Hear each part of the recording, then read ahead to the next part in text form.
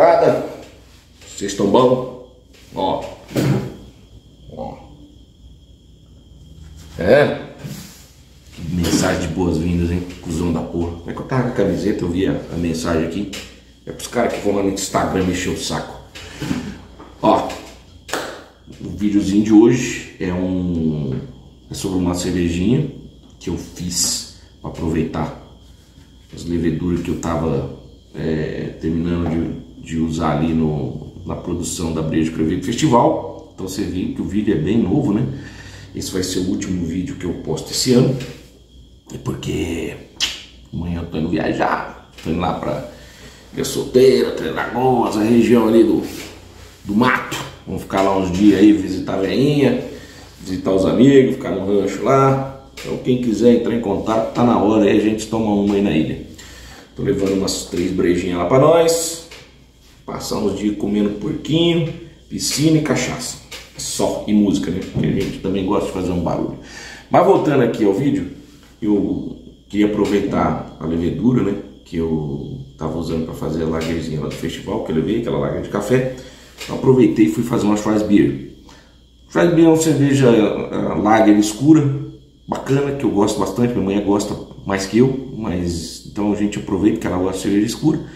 Eu não estava querendo fazer stout nem nada, falei, ah, vamos fazer uma, uma Schwarzbier, né? Já tinha feito uma vez, agora aproveitar a lama e fazer. Então, a receita é basicamente aquela da, da, da outra versão. É malte base, o Pilsen, que, que eu usei? O Munique 1 e uma cevada torrada, mas bem pouquinho, que assim, é, a vibe da Schwarzbier, ela é ser escura, mas ter sim, praticamente nada de tostado, senão ela vira uma stout, né, cara? América Stout. Então é até uma, uma corzinha escura, assim, tostadinho muito de leve, nada de café. Então, só para dar uma cor e ficar um perfilzinho assim, maltado, leve e fácil de tomar. Eu usei SAS e a levedura, a lama lá da, da Estilab, que era American Ale, se eu não me engano. Acho que foi a American Ale que eu usei. Bom, nem lembro, mas o American Ale ou a 2006, que é a Czech Lager, lá. Bom, é, vocês vão acompanhar o vídeo, vão ver lá o resultado final. Agora, ela ficou com um defeito, e o defeito foi proveniente de uma barbeiragem minha, né, na fermentação. É, eu joguei, como sempre, a, a cerveja numa temperatura mais alta, tipo 24, 25 graus, e deixei o, o, o, o mosto é, CT ali para 20, deixei ali para que ela pegasse no outro dia eu abaixava a temperatura, né? Então eu joguei à noite, eu inoculei à noite, a cerveja eu coloquei no fermentador à noite, fui dormir. Só que é o seguinte, né, cara? Lama é lama, né, velho? Lama, sei lá, duas, três horas depois a bicha devia estar tá pegando um pau lá dentro. Então quando eu acordei de manhã, tava 20 e poucos graus, e o pau torando. Pau torando. Aí que eu setei minha geladeira, é rápida. Setei para ela baixar lá para os 12, 13, só que assim, leva umas 3, 4 horas para baixar na minha geladeira ali. Quando baixou, já fazia sei lá quantas horas, 12 horas. Então, assim, ficou um esterificadinho, frutado, que é indesejável no, nesse estilo. Não deveria, ter, não deveria ter feito isso, eu deveria ter baixado a temperatura, ou assim, jogada a cerveja ali já setado para os 12 graus, que aí era um tempo, aí sei, sei lá, duas, três horas a, a fermentação tá pegando e a cerveja já está sendo produzida, já está sendo uh, chegando ali na temperatura dos 12, 13 graus ali. Paciência, cagada, shit happens, bobiei, para próximo vou fazer isso, né? Quando tiver lama, vou ser um pouquinho mais esperto, né? Porque lama o bicho pega. Essa foi a terceira não, foi a segunda reutilização. Terceira que eu fiz com essa lama. Terceira vez que eu fiz. Depois eu fiz mais duas. Uma, essas duas ainda que eu tô levando lá pro interior. Também são com essa lama. Então acho que economizei uma puta grana com levedura esses dias aí. Beleza? Fica com o vídeo. Se curtiu, dá seu like, compartilhe. Faz favor, comente. Comente, é bom. A gente troca umas ideias, fala merda, ouve críticas, sugestões. Acompanhe lá no Instagram, lembrando que no Instagram eu não posto só sobre cerveja, entendeu? Porque antes de tudo eu sou um cidadão, então eu falo de outras coisas também no Instagram, falo bastante de cerveja, mas eu falo também de outras coisas. Beleza?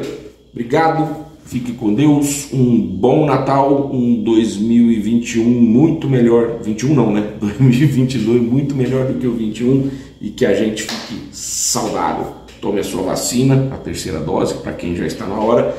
E vamos sair dessa encrenca, gente. Valeu, bom Natal. Aí, ó, estamos aqui, sexta-feira, sexta não, quinta-feira. É, daqui uma semana nós vamos estar lá em Camboriú, na farra do festival. Então, como eu tirei a, a breja da, do fermentador anteontem, eu quero aproveitar a levedura, né? Para não perder, né? A levedura tá barata, né? Apesar de ser da Estilab, ainda mesmo assim, né? Então fiz 50 litros aquele dia. E agora eu vou aproveitar aquela levedura. Como eu coloquei café, vou aproveitar e fazer uma Schwarzbier. Quando eu voltar, tem mais breja aqui. Então vou ter uma de café e uma Schwarzbier. Schwarzbier não deve ter gosto de café, então eu deixei muito pouquinho lá no fermentador, assim, só para a levedura resistir esses dois dias para abraçar. E aí vão rezar para o café não interferir aqui no, no sensorial, né? Já corrigi o pH da água, já joguei os sais, estou esquentando e vou fazer um biabão, porque quero terminar rapidão hoje sem muito trampo, né? Hoje eu tô com preguiça, hoje é quinta-feira ainda, né? Fazendo uma paradinha 35 graus aqui uma proteasezinha. Minha mulher tá separando a cevada torrada ali porque ou eu pedi errado ou o Bishop mandou errado. Eu precisava de 200 gramas, veio 2 quilos. Pô, tem que ver meu pedido lá. Correndo, né? Vai saber. Estamos aqui, tem uns 20 minutos já. Aqui na beta. Já tá escurecendo já, já tá escurinho. Escurinho não, né?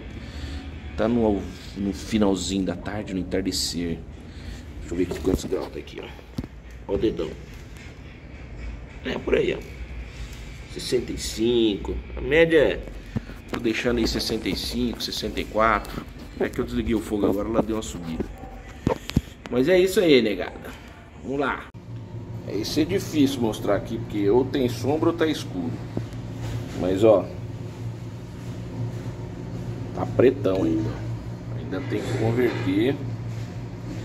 Ainda tem amido para converter, falta 16 minutos ali. Então ainda tem amido ainda.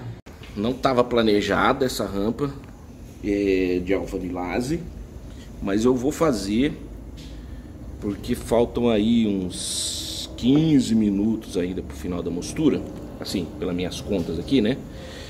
E ainda tem açúcar, ou ainda tem amido para ser convertido. Então eu não quero perder muito tempo e a alfamilase ela converte, nego. Se tem uma bichinha que converte, essa bichinha se chama alfamilase. Então vou subir um pouquinho aqui para 72 e vou terminar a mostura nessa nessa temperatura. Beleza? Vou terminar nessa temperatura. Aí, ó. Agora sim. Ups.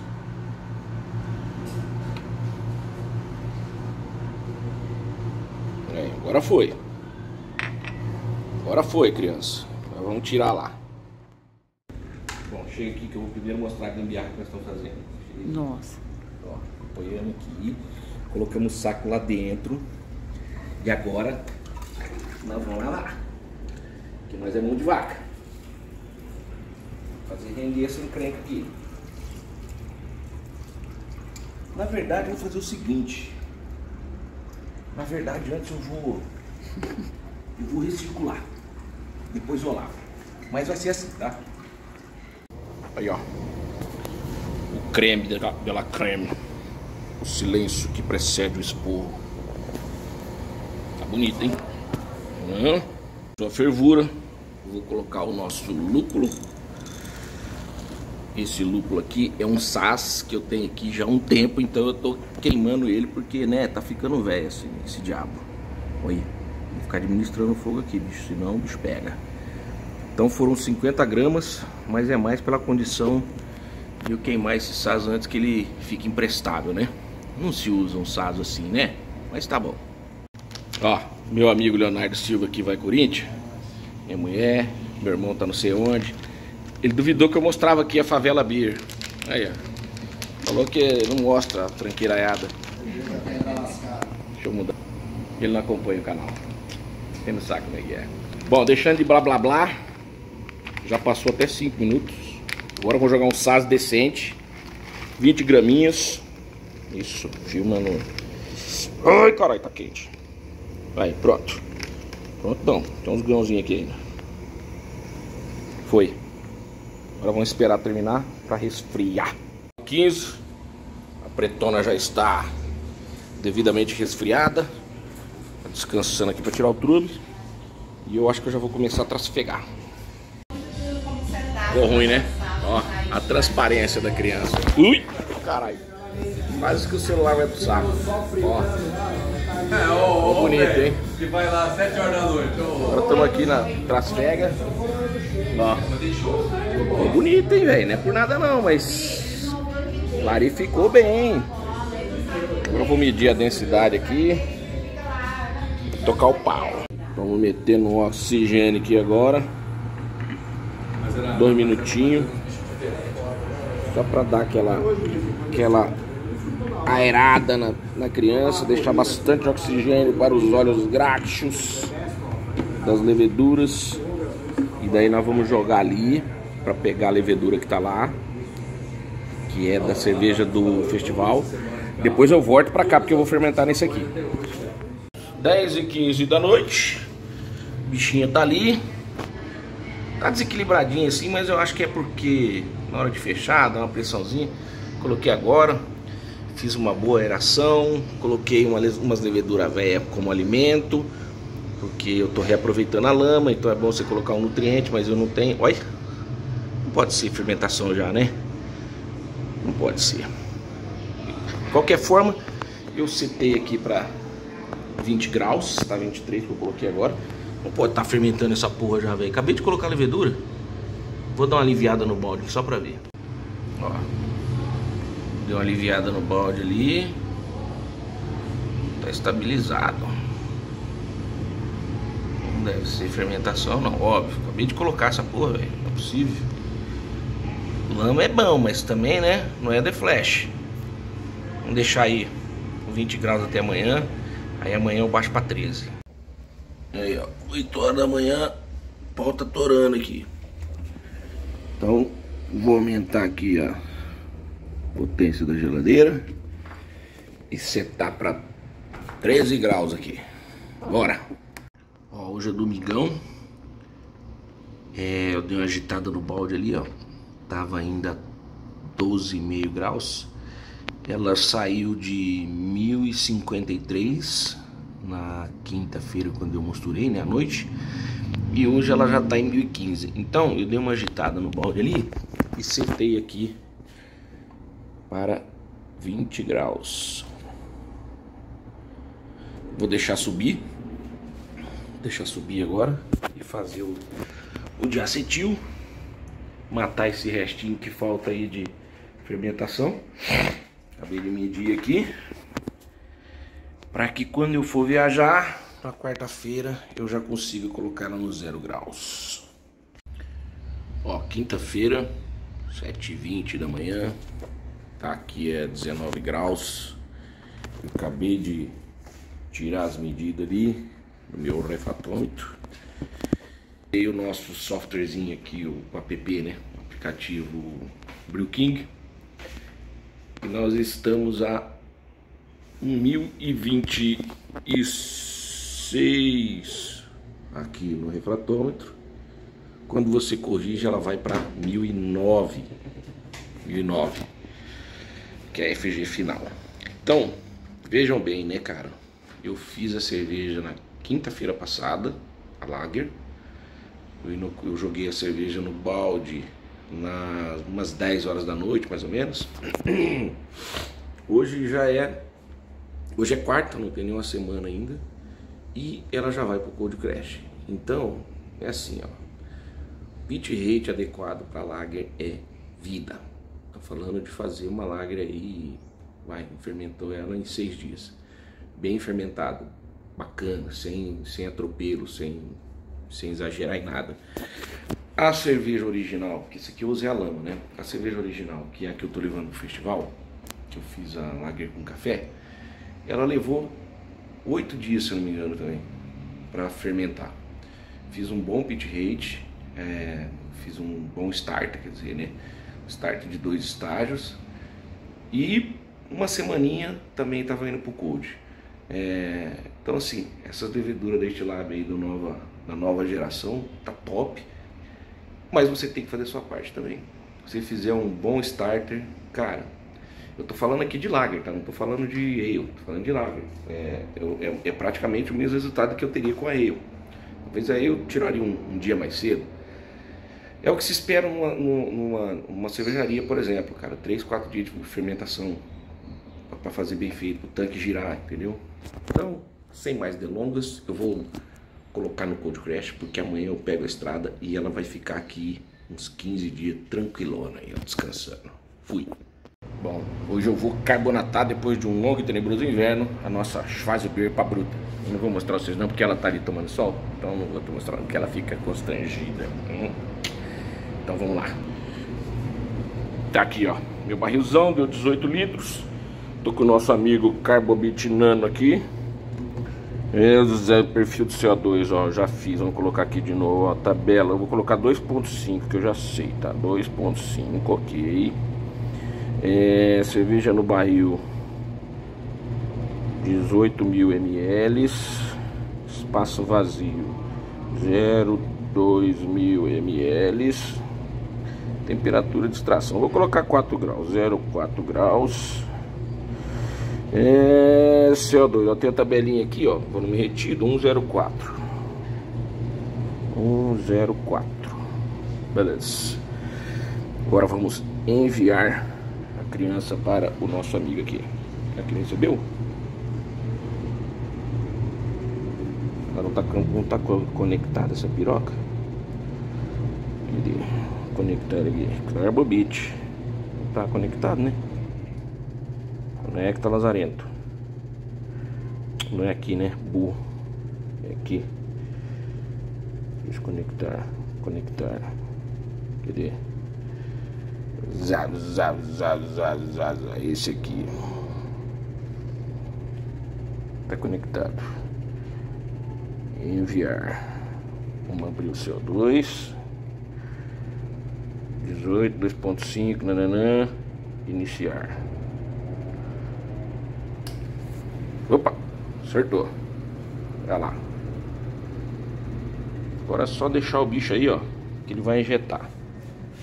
Eu já tinha purgado o CO2, obviamente, né? Então agora só deixar o bicho aí, ó. Beleza? É óbvio que os cuzão ficam enchendo o saco, né? Nutella, né, né, né. É óbvio que você não precisa dessas coisas para fazer sua cerveja, para carbonatar. Mas falar pra mim que comodidade não importa, velho. que você quer ser raiz? Não. Ó, tá fazendo start, ó. Ser raiz do caralho, velho. O negócio é comodidade. Mas não deu 15 minutos. O bichinho tá aí, ó. Carbonatada. Eu agora vou arrumar um espaço aqui na minha geladeira.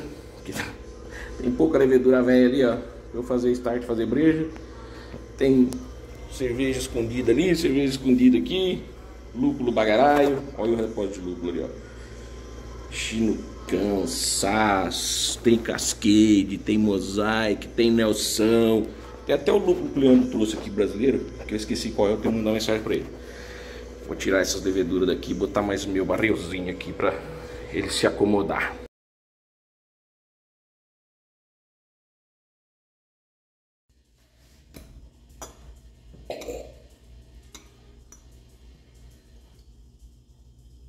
O néctar.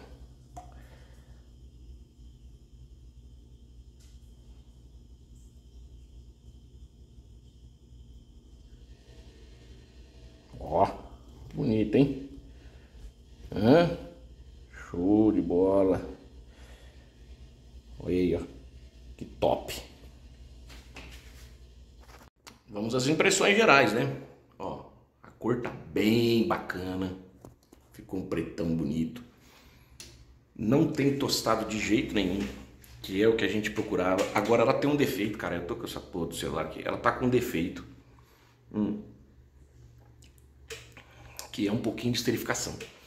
Eu comi bola, como tava usando a lama, a lama é muito mais rápida e eu, eu já joguei ali, deixei setado para tava 20 e poucos graus, 25. Aí eu setei para 15 e fui dormir. Então, quando eu amanheci no outro dia ali, o bicho estava pegando já. Aí para baixar para 13, 12, que é onde eu fermento geralmente, então deu uma esterificada. Ela está com um leve esterificado, que não é desejável no estilo. Agora, fora esse defeito de fermentação que não é pequeno, tá? para o estilo é um pecado. Em compensação, ela tem outras vantagens. Ela está absolutamente livre de tostado e de café, porque senão ali virar uma American Stout, uma Lagers, uma American Lagers, sei lá que porra que é, mas ela não tem esse, esse perfil torrado, tostado. Ela tem esse leve, é, vamos dizer assim, um, um, leve chocolate amargo, alguma coisa assim, sabe? Os, os especialistas em vinho aí que gostam de falar essas coisas. Chocolate amargo, é, como é que é? Asfalto. Pô, alguém já lambeu asfalto, velho? Piche, caralho. Não, mas na boa. Ela tem um, um, um, leve chocolate amargo assim, não é um queimadão, parece um, parece um tostadinho, não é aquela coisa de café, sabe?